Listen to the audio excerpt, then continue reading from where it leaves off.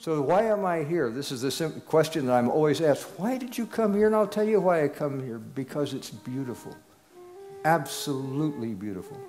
It's not beauty of the kind of a person who loves dramatic topography. I don't care about the mountains sweeping down to the sea. What I care about is farming. And what I'm interested in is farmers and how they handle the land. And I had seen no place in my life where the farmers had more beautifully handled the land than these small fields and modest hills that ran along the Arney.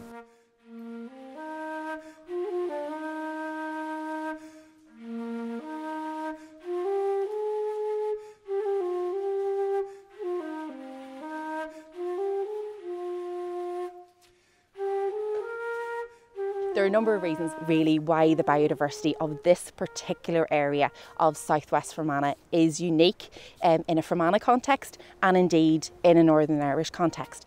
Cuilcagh Mountain here, which was just behind us, is actually the highest point in the county at 666 metres. When you move from quite low elevations to quite strong elevations, as you can see on this lovely summer's day, we've quite got quite miserly rain um, here as well. So you get all sorts of variations in your climate and in your weather. And once again, that has a hugely strong impact then on the types of plants and on the types of animals that you find. And in this particular area, creating quite a unique and intricate mosaic of lots of different habitat types and therefore lots of different plants and animals. It's really, really rare that you won't actually see in very, very few other places in Northern Ireland, indeed on the island of Ireland as a whole.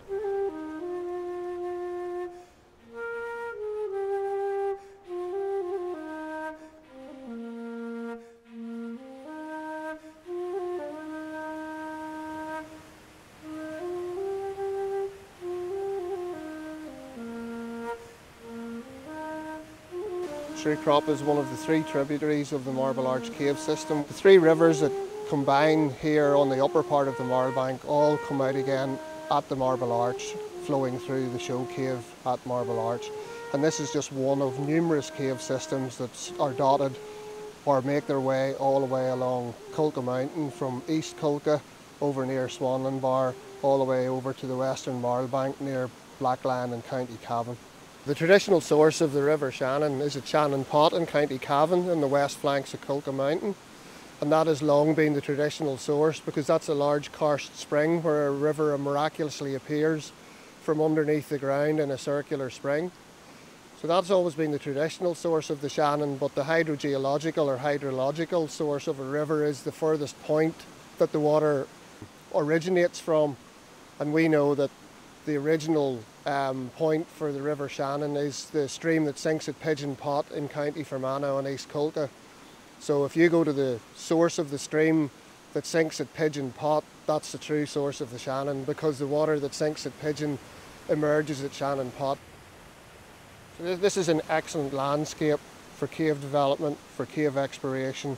And one of the most important things about it is that an awful lot of the underground pathways, which have been proved by Dye, have not yet been fully explored and there's a huge amount of cave passage still to be discovered by cavers in this area.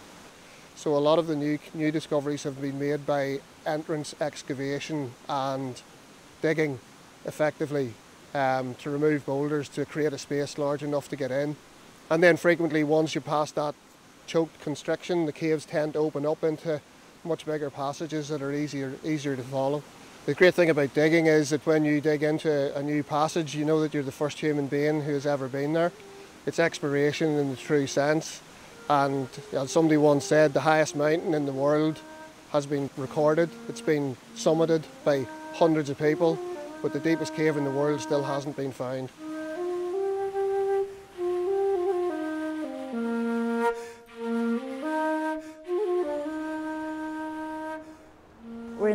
In of Mullymesker near Arney in County Fermanagh and I'm standing by all that remains of a house, a mansion which was described at one time as the finest of its size in Ulster.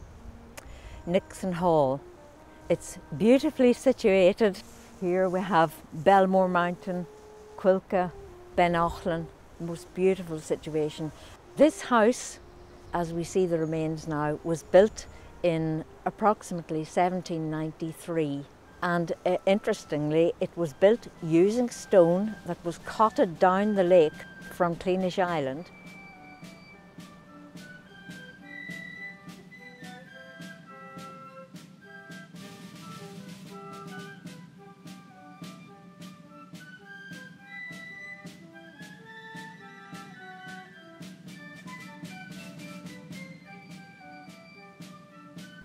Behind me you'll see the remains of a stone built house which has been here on the island since 1922 or 1923. It's one of 11 homes that were provided for ex-servicemen after the First World War. Typically they would have come from farm labouring background where they wouldn't have had a prospect of owning their own farm so this was a very attractive uh, prospect for them. The scheme here on Cleenish wasn't ultimately a success. The men suffered great hardships in terms of the times that were in it. But as we looked at them as individuals and found out their war experiences, it also became very clear to us that there wasn't one of them who wasn't greatly marked by his experience in the war. For example, the, the man who lived in the house behind me here, he had joined up with four pals all on the same day and he lost all of those, all of the men who joined up with him were killed on the first day of the Battle of the Somme. They were carrying uh, psychological problems as well. So it's a very poignant story, a very human story. We were able to bring together for the first time the descendants of the men who lived on the island, and it was very emotional for them there's always been this sense, although we didn't know the history in detail, there was this sense that they were built under special circumstances and there was a kind of a sadness about it um, and very much part of the landscape on the island because it is, it is a beautiful place but um, there is this kind of feeling that the, all that history kind of lurks in the air.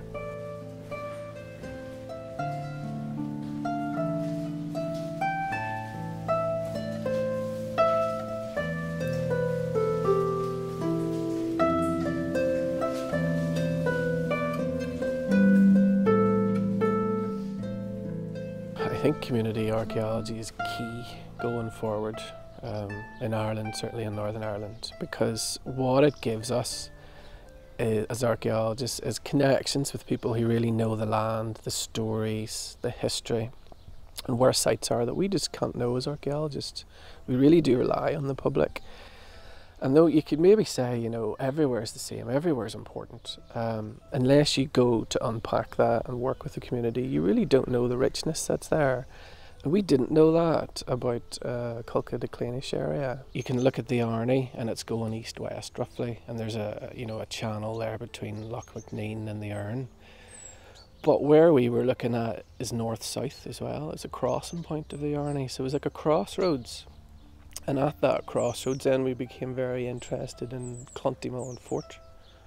And we came up with that theory could it be a high class, for want of a better word, high status Gaelic site where they were living at? And we decided um, to have a go, and it was the community raised the money. The community got the archaeologists in, and I helped again in the background. And we found um, a first in Irish archaeology. We found the first Gaelic moated site ever dug, as far as I know now, in Ireland. We've now found evidence, archaeological evidence, stretching from the 17th century, well, the brickworking as well, stretching from the industrial period right back to the Bronze Age. And all these things we didn't really know about and couldn't have known about apart from working with the uh, community.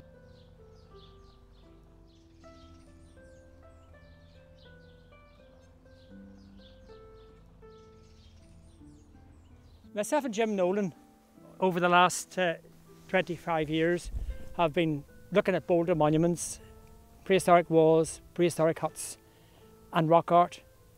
Here we are in Killykeeghan Nature Reserve, looking at a rock art boulder, which has two ring marks and cup within. In the 90s, This was the only uh, rock art boulder for the foothills of Cuilcagh Mountain. Uh, since then, myself and Jim Nolan have been able to find up to 200 rock art boulders. About 50 of those would be the cup and ring cup mark uh, boulders, which are the traditional Atlantic rock art. The other 150 would be a form of rock art as yet not known by archaeologists. It's called sculpting. They, they would probably date from Bronze Age. Some archaeologists feel that they may have been late Neolithic. However, it's by context in this area, it is most likely to be uh, Bronze Age.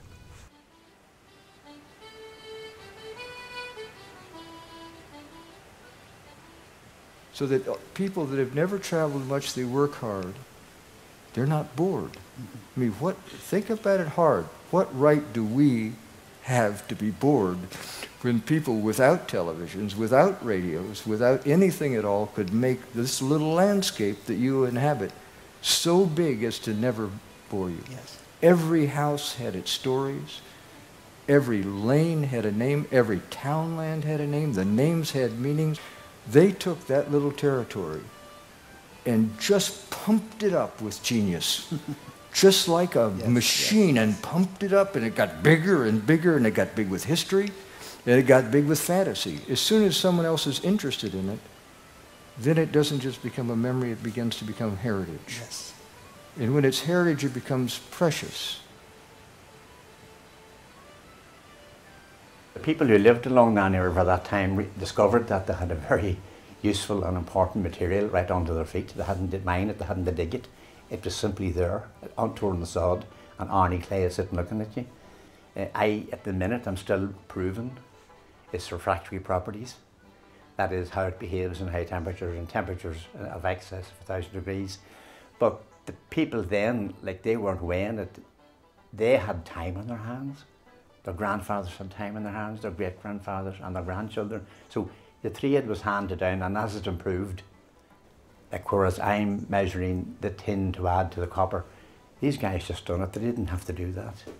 They they lived with it. That's what they lived for. And I'd say there was a bronze maker, and a bronze maker. That's all he ever done was make bronze. You know. This would have been a very important area for that very reason, because that material was so useful in manufacturing items like gunting and swords. In fact, upstream from Arney here itself, up towards Mullockdun, there was a moulds for this actual type of sword found on the banks of the river. And not only that, many years later, there was a bronze sword found a broken down here at the ford. And this in fact is a replica of the exact broken sword only I pointed it just to make it into a dagger, to make it, to recycle it. Like that speaks for itself. You don't have to explain how that was done. You can see the pour hole there where the bronze is poured in, right?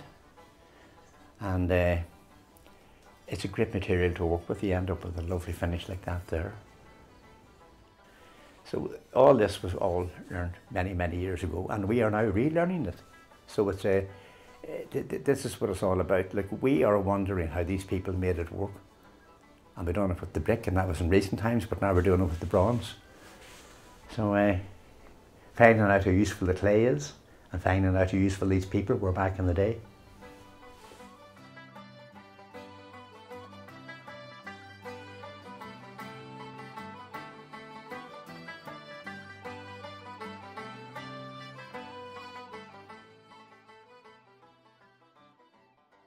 traditional story about Man is that the man bit, the man comes from uh, the women in Irish, in that that's where they sat. The women sat there and watched the Battle of the Fort of the Biscuits.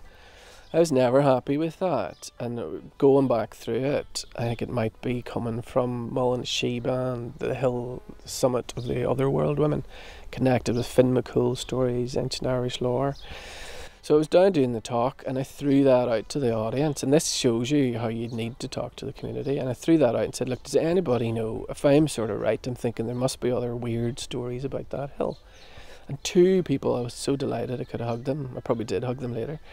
Um, two people came back with the story, and it was the same story about this wee old man. I can't remember his name, but I think he was called Wee somebody. Apologies if I'm wrong. And he lived near the hill. And what he would do is he would come out his front door, walk round the back of the hill, and disappear.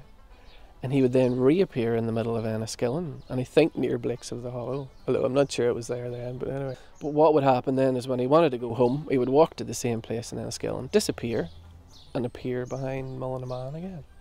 And that is just amazing. And I think in that story, you're capturing the otherworldness of that hill, in that these places connected with the she and the other world, you're meant to go into a hill and you can come out anywhere because it's the other world. And I think that's a direct connection now in the 20th century with probably an Iron Age story that's been there thousands of years. And you never would know that or get that information if you weren't talking to the community. Was down by the shores of Lough Erne, I met with a beautiful dim. Her voice was so sweet and so pleasing, these beautiful notes she did sing. Oh, the innocent fowl of the forest, their love unto her they did bring. Oh, it been the first time that I met her, my heart did, did jump with surprise. I thought that she could be no mortal, but an angel that fell from the skies. Her hair in resembled gold tresses, her skin was as white as the snow, and her cheeks were as red as the roses that bloom around Lough Erne shore. When I found that my love was eloping, these words unto her I did say. Oh, take me to your habitation, since Cupid has led me astray. Oh, had I the lamp of Aladdin, his rings and his jewels, that's more. I would part with them all for to gain you and live around Lough Erne shore.